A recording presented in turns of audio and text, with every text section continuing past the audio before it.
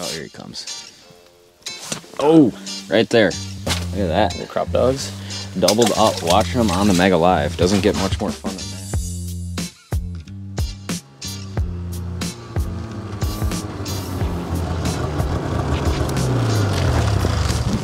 Welcome back to another video today. And uh, we're back. This is a much snowier world than uh, last time I saw you guys. Is our mic still hooked up? Are our mics still recording?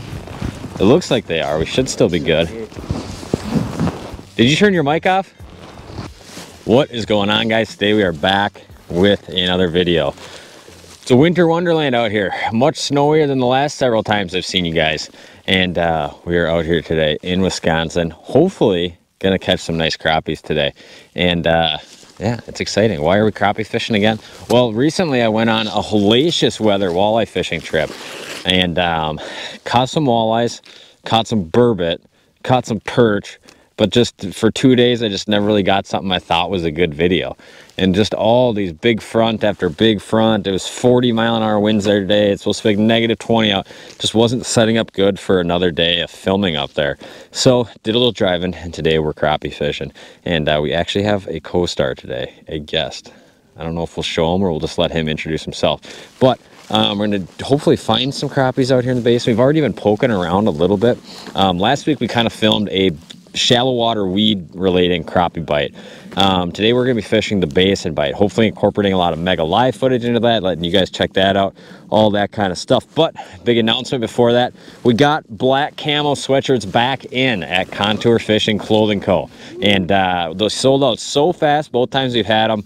We finally got a big kind of quantity of them in and uh, they're available. So click down below, the links down below. Everybody was going crazy over the black camo one, so we wanted to bring in a big order of it. But like I said, we're gonna get a shack pop up. First, we're gonna find some fish and uh, hopefully catch them. Mitch, is your mic on? Oh, I just said who our co-star is. Is your mic off now? Yeah, it's off. It's off. Well, Mitchell is finally on the ice. He's finally back, so we'll see if he can catch his first fish through the ice today after I'll just put a whooping on him. So stay tuned, find some fish, hopefully catch some basin crappies today up here in northern Wisconsin. Step one, obviously drill a hole. Oh, we'll get the Strike Master going here. This thing had a rough ride back at about 25 below yesterday.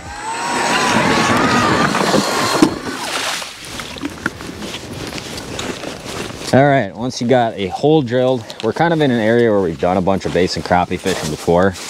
I'm just kind of walking and talking right now, but essentially what we want to do is get our Mega Live unit. And this is obviously, as many of you know, kind of the way to go when it comes to finding basin crappies. So we're nowhere close because obviously we've been not this season, but in the past I've fished areas out around here. So we'll do our best to kind of film this here. And basically what we're gonna do is we're gonna turn this into forward facing mode. And uh, simply by clicking right there. Now I'm gonna turn this around. So there's what we're looking for right there. Those are our suspended crappies right there up over basin. Mitchell, 35 feet that direction where the fish are, yes. So that's what we're looking for, and that's where we go drill. You can see you kind of lose the school a little bit right there. But this is obviously the power of fishing with something like the Mega Live. It's being able to turn this around, cut your time looking around in these basins down dramatically. And then obviously, you know, we could turn it over here. All right, nothing really going over there. A couple way over there, like 60 feet. But if I turn back to where they were previously, you can see right there. Those are our fish we're looking for. They're about 15 feet down and 23 feet of water 30 feet in that direction. So this is how a lot of times you can take a big basin cut your time way down by using this forward facing technology. And on the live on those Humminbird units you can obviously toggle back and forth between sonar 2d um, or your LakeMaster chip to see where you are in that basin and uh, it makes it so easy to use so now all we do is kind of start punching holes in a line that way until we kind of find those fish and then we'll flip the otter up on top of them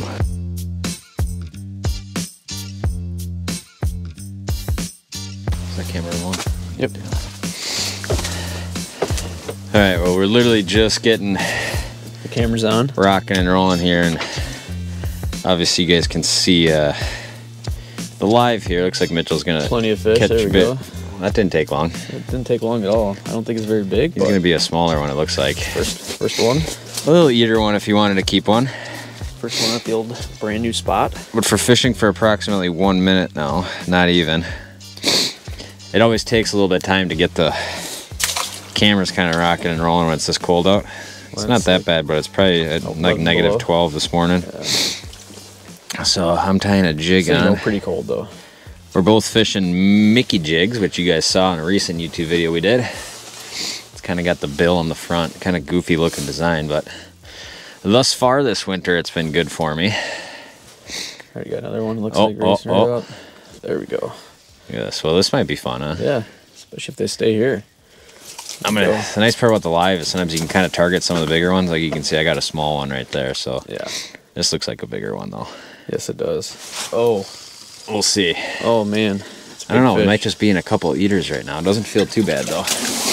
There we go. Three crappies in a matter of like two. I mean, basically a minute so far. yeah. Fast action. This is honestly what makes crappie fishing so much fun through the ice. Crappie fishing is fun. Very interactive on the graph. You know, a lot of times obviously walleye fishing, you're kind of sitting around waiting for like one fish to come in. Where doing this, a lot of times, you know, you have a graph full of fish like this, watching your jig, watching the fish, and obviously with the live ones imaging. coming up. Oh, he's, oh, I missed it. I missed it. You too? I got a smaller one. Oh. That's when you know they're small. Where are these Macdads? That's when you know. Oh, that one looks decent, huh? There we go. Yeah. Better? Actually, it looked like the same fish came back, but maybe I was seeing something. But yeah, feels a little better. oh yeah, he's a little, bit better. nicer fish. Oh, throttled. Oh, no. It is so ridiculously fun watching them on the live. That's a nice fish right Oh, there. that's huh? a that's the best one. That's what we're today. after. Look at that. go. Crop dogs. doubled up watching them on the mega live doesn't get much more fun than that on a nasty cold winter system here. I mean it has been just a chilly windy snowy go at it the last week. You just want to crappie fish the rest of the winter now? no i don't. You can't drink from the well too many times. That's what i say with crappie videos? Did a weed one fishing super shallow weeds. Last week this week we're doing some basin crappies showing kind of the two different crappie bites that happen each winter. Basin crappies But, uh, so much fun. for the most part, we will be fishing walleyes and lakers for most of the winter. walleyes. Hopefully, lakers once the ice forms in the laker grounds.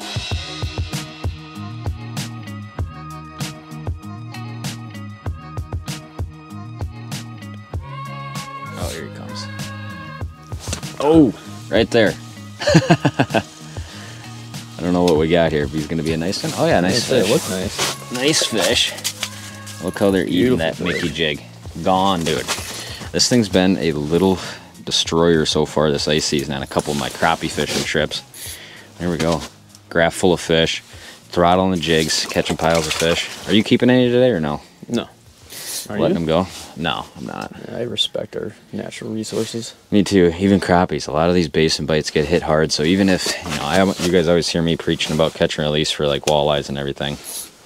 Equally as important for crappies, because obviously we got basically video game fishing going on now. Mm-hmm. So it's very important to be Oh, I missed him. be mindful of that when you're Sure on these is. things. Now, I totally understand.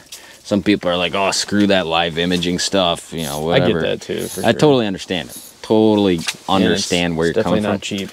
But you know, yeah, it's not cheap. But as far as an efficient tool, I like catching fish. I'm not going to blame.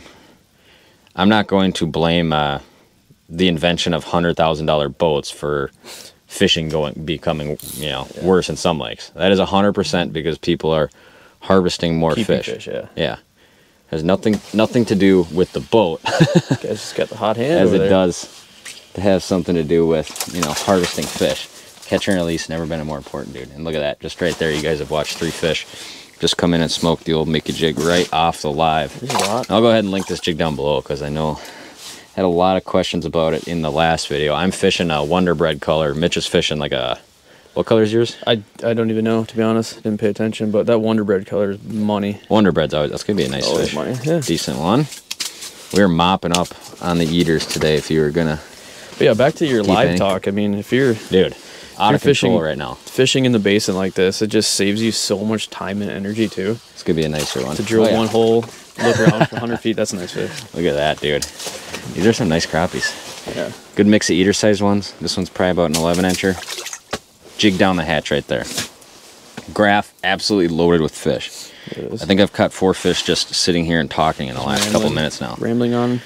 Get back down the hole, get back down the hole. Just tipping these jigs with a little plastic. Now, the key when you're fishing on plastic, as I've said before, number one, keep the jig really moving and play keep away with them.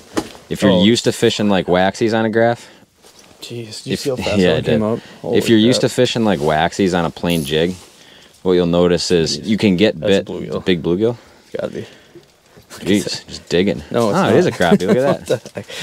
What? I would have put money on that was a bluegill. But if you're used to fishing like um, just like a waxy on a jig, and you do the classic thing where like you're jigging, jigging, fish comes up to meet you, and you just stop the rod, and you can still get bit on like a minnow or or a waxy doing that. Where with plastics, the key is keep it away from the fish, keep the jig moving. A lot of times that's how you get bit on plastic or artificial presentations for crappies. Nope. Yeah, I was gonna say, as soon as I set the rod down, I'll just keep doing that. It's a little tactic. Oh, that looks like oh, it's two. Still could be a nice. Oh my gosh, dude, he's all over it. Oh man, he does feel better. Nicer fish, nicer Yeah. fish. Let's double up on him. Let's double up on him. Do it, do it, do it. Oh yeah, slabberoony. What do you call it? Slabber. Slabberoony. Jeez. That's what I called it. It's been a minute since I've been out fishing, hasn't it? And The guy hasn't. Yeah. uh, So everybody always comments, "Where's Mitch been? Where's Mitch been?" And then when I'm out doing public events, did you and Mitch have a falling out? No. Somebody Mitch just that? Mitch just likes to hunt. Yeah, I like to fish. I'm a freak when it comes to hunting. There we go. So Mitch was in a tree stand while I was fishing probably the last four months now. I attempted to. But hunting nice season- little hunting YouTube season is- it was harder than I thought it would be. Yeah, hunting season is now over, and uh, we're kicking off the ice season. There we go. There you go. There you go. All right, guys. So I'm gonna go do.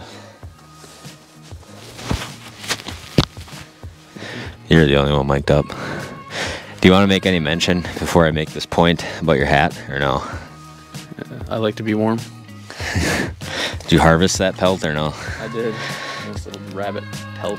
so I'm about to make a move simply by switching the Humminbird into forward view mode. I'm on a hole hop, and you can obviously see all those fish sitting out there to the left, or you know, in this direction here, as we just briefly spun that thing around. So then we obviously know, okay, walk about 40, 50 feet that way, punch some holes, catch some fish.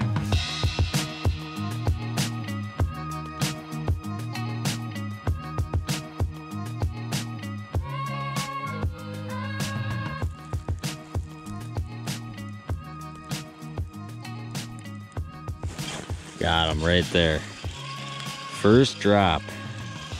Once it did the little move. Decent little crappie there. Decent little crappie there. Nothing big. We still got some more on the screen here.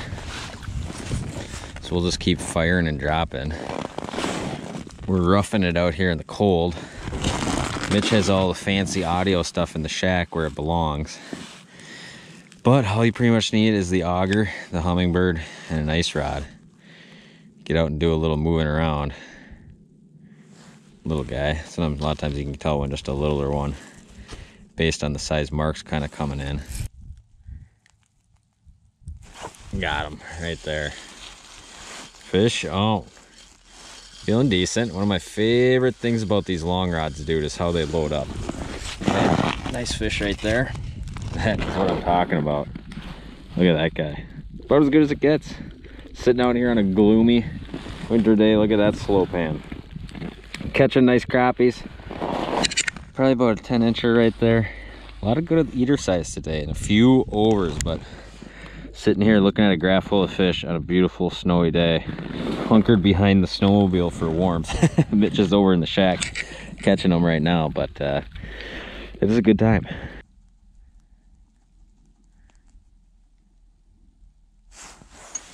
Look at that. That one was just kind of leaning on it right there. Feeling all right, feeling all right. Oh yeah, yep. Dude, no matter how many times you do this, I don't know if it ever gets old looking at a graph this full of fish. It is kind of what makes crappie fishing, especially over basin, special. Great way to introduce people to ice fishing because often it's a lot of action when you get on them and uh, very interactive. It's not just sitting there waiting for a mark to come in. A lot of times you're watching several marks and kind of how they how they interact with your bait. I can tell them on like there's some of these nice ones, and then there's some that are just like probably year old crappies down there. Because some of them you'll just get to like pop, kind of just pop the bait, and that's kind of it. But obviously some nice fish around. One big tip I always say when you're crappie fishing in the basin like this is when you're dropping down, get don't like just drop all the way into the school. Generally what you like to do is I'll kind of stop the bait like up here, four or five feet away from those fish, and then just walk it down like this really slow into that school. And a lot of times once you get a couple feet above them like this, it's a lot better than kind of kind of just dropping right down really heavy and fast into them. So it works a lot better to do that slow fall. Oh yeah, another nice one right there. Dude, all about it, man. Fish after fish out here. Clocking them, clocking them. First kind of basin crappie video of the season. All right, guys, that is gonna do it for today's video. Mitchell, your first day on the ice of the season, how was it? It was awesome. I like crappie fishing, and I just love ice fishing. You guys get the sarcasm in that? The guy is not an ice fisherman. He's not No, one of I- us. Oh boy, that, that's He's not one of us. You're right. I am not a hard water freak or whatever you guys call yourselves, but I do like ice fishing though. But there you go. Fun little, kind of only fished really for a little bit. Um, caught a bunch of crappies out over the basin. Hopefully you guys enjoyed watching some of the mega live content of those fish flying up and getting the crappies. I can already see, this video is not even uploaded yet, but I can already see a couple comments going in. I'd never just buy $3,000 for, for, to find fish. I don't blame you. it is unbelievably Yeah. helpful and useful tool. Mitchell, It you is, started yeah. fishing with forward facing sonar through the ice last season. Yeah, and for my case, guiding it was just it was so money because I didn't have to drill a thousand holes to find fish, drill a hole, scan it 100 feet, find basin crappies. If that's what you're doing, any basin type fishing is just it's 100% worth the money. Yeah, and obviously the Mega Live. You guys got to kind of see that showcase today. But uh, another fun day on the ice out here. Got to go back. Got to do some work in the garage tonight. I, I think I might try to make a big trip in a couple days here and uh, get back after chase walleyes. But really got kind of thrown a curveball by the weather the last few days. And you really love crappie fishing. And I love crappie fishing so much. I had to come back and take my good fishing pal Mitchell out on a basin crappie bite. But hopefully you guys enjoyed it. Um, it's snowing like crazy outside right now. We got some crazy winds coming. So everybody be safe out there on the ice. There's a lot of snow. Ice depth is going to vary a lot. So be very careful if you're venturing out on the ice. Make Always sure like to say it. that. Yep. Be very thorough in your checking ice. But we're going to tear everything down. We're going to get out of here. I'm going to get home and edit this video. I appreciate you guys watching this one. Make sure you guys check out some of that contour fishing merch, which we just posted up on the site. The black camo contour sweatshirt is back available. But appreciate you guys watching this. Stay tuned for more content. We'll see you next time.